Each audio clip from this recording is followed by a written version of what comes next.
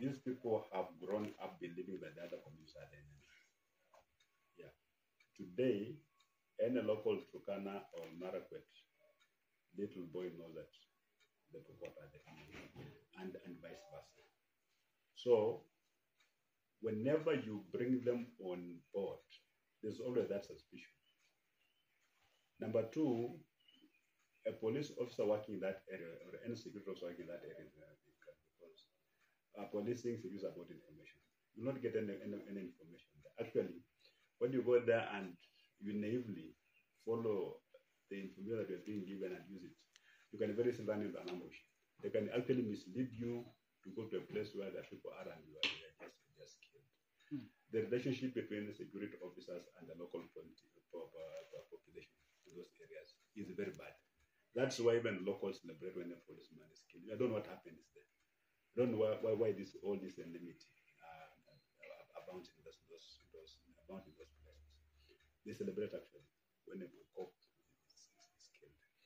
So the idea of bringing people uh, uh, on board is a very good one, noble one, but it's going to take a bit of time. Don't just wake up and say there's a security issue, call the Marakwet, call the Pokot, call the Turkana, sit down, talk. Actually, in most cases, those meetings are actually disrupted by by those thugs. They just come and they're shooting all over the place and everybody's scampering for safety. Yes. Because they don't want even people to meet and, Mhm. and talk. Um, like, you know, like the, the court, if they come to an area, the tendency is for them to displace you. Mhm. They don't really want to, because of that serious suspicion that you cannot really get grace. But even the, when, when, when the past is sufficient, they want you to, to, to, to, to grace together. They want you to move you so that you can you, you, you go Mhm. and then they, they, they move the area. So the involvement of the people is good. It will take a bit of time. It has to be nurtured. But, but I know if politicians are actually forced, Mhm. I, I know they know that there are consequences for inciting communities against each other. Yeah? I'm, I'm sure without finding solution. Okay. Because they're the ones who know that they fund these criminals. Then give them money. I've seen a politician you know, after meeting, he remains behind and he gives three boys 300,000. This for what? Mhm. It's just for purchase of ammunition. Yeah, hadi vijana mwende si mtafute nini, but basically you understand what it's trying to do. Yeah. And they really want to, to appear to be, you know, to, to, to, to, they want to be liked by, by their local communities. And being liked sometimes means that you have to abet what, what they are doing. Because criminals have sophisticated weapons. I didn't say they've got better weapons than the security but not people tend to process things. I said they've got very sophisticated weapons. Some of them which are not issued to agencies, and they including M16. People condemned me night and day. I said that. Two days later, we recovered three M16 weapons in Samburu. And those firearms are deadly, they are lethal. Ikinguru matter police doesn't matter. Hmm. It's not just a firearm that you play around with. And I knew. Uh, you remember when uh, America had issues in Somalia during the Siad Barre regime, uh, and America left in a half. Yeah. They left so many, so many of such weapons behind. And those are the that have found their way in some of those, uh, those areas. And that was The government must put money where its mouth is. I've not seen any resources deployed in that place. That place needs a lot of money. Mhm. Like, like, like, like, similar to the Marshall Plan. The government must just budget billions of money towards the North Rift and open up that area in terms of infrastructure, as I've said. Let us have enough schools. So now today, children walk for very long distances to go to school. Then you are in school, you are told that you are going to Estonia. And that boy goes back and never go back to school again. Yeah, and that boat was stolen, the police could not respond because there was no road. So let us invest in, in infrastructure, physical infrastructure. Let us have roads. Let us have water, sufficient water, because some people they just fight over water. Mhm. Isn't it? Mhm. Let us create other economic opportunities in that area.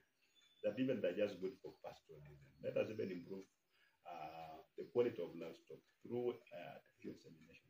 Let us have all these things, a complete plan, and let us have people who are with the responsibility. When they wake up every day, they know that the responsibility is to transform the North Rift. Hiyo ni kazi yao tu wameajiriwa kufanya hiyo kazi. But like an artist, you go there when people have fought, then you go back. You'll go there again when people have fought. Yeah, but there must be just people who are focused from all these the departments that I've mentioned.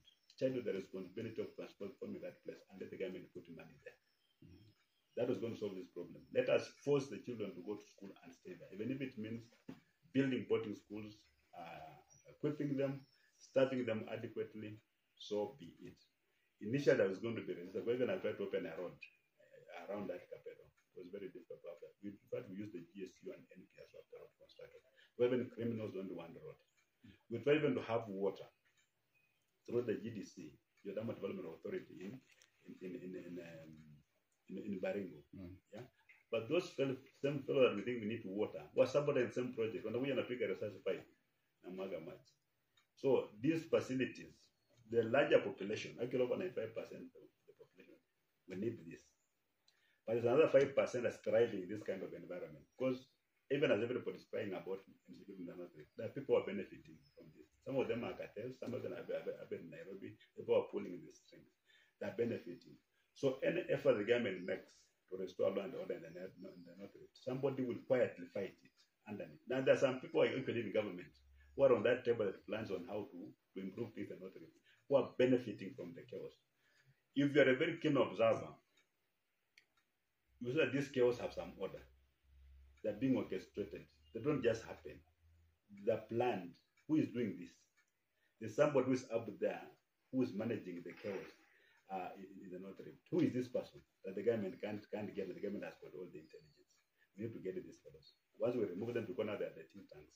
These fellows who are working around the firearms cannot do anything without this force providing the, the support. But the government must put resources in the North Um, we, for us, we just continue appealing for, for peace uh, because the North is part and parcel of this country. Uh, Trans Nzoia part of the North Rift actually. Uh, we believe that if there is peace and security in that area, even Trans Nzoia will thrive, will thrive more.